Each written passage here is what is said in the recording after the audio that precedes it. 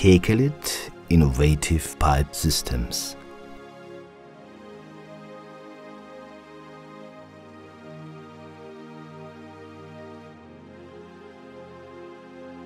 Mark the depth of the pipe with a tape measure. Shorten pipes with the dimensions D25 to D32 at right angles with an original pipe cutter WZ935. Calibrate the pipe in clockwise direction by chamfering it with the calibrating mandrel WZ915. The pipe should not turn during this procedure. The calibrating mandrel can be mounted on a drill machine or on the click handle WZ915. With proper workmanship, you will achieve a secure, permanent, leak-free joint that carries all loads.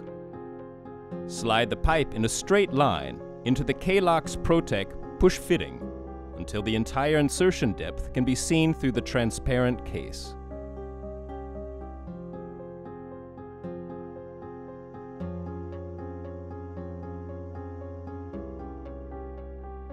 Pipes with dimension D16 to D20 are shortened to the desired length at right angles with the original cutting wrench WZ130.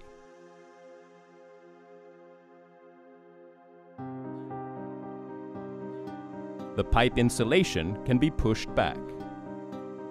Calibrate the pipe in clockwise direction by chamfering with the calibrating mandrel WZ916 the pipe should not turn during this procedure. Slide the pipe in a straight line into the Kelox Protec PPSU push fitting until the entire insertion depth can be seen through the transparent case. Only connections that have been properly installed can demonstrate the promised seal.